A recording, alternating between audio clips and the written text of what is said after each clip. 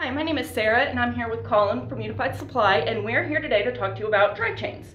So, what can you tell us about the different types of drive chains? Sure. So the different types of drive chains, uh, what they have in common is they're all basically for a carousel. It, the drive chain is a mechanism that engages the drive with the rest of the carousel to propel it forward.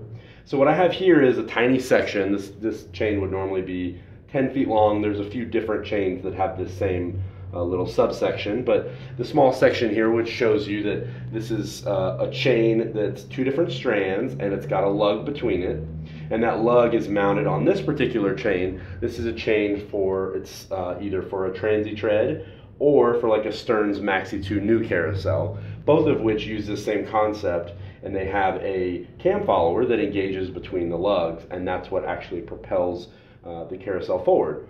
But the different styles of dri- drive chain that we have, there's styles that are just a strand of chain, like for a uh, triangular drive, and it's really important that you have the exact right kind of chain and the right length. Um, but those are probably the simplest drive chains.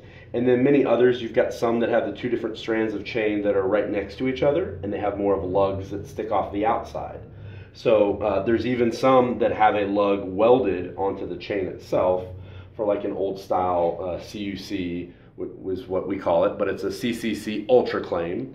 Uh, so that style actually has a typical chain with a lug mounted to it, uh, welded on. So anyway, there's many different styles of drive chains. Unified can help you with any of the different styles that you have in, in the field, but the basic concept is always the same. Again, this is what moves around the drive and engages with the rest of the carousel. Perfect. Thank you so much.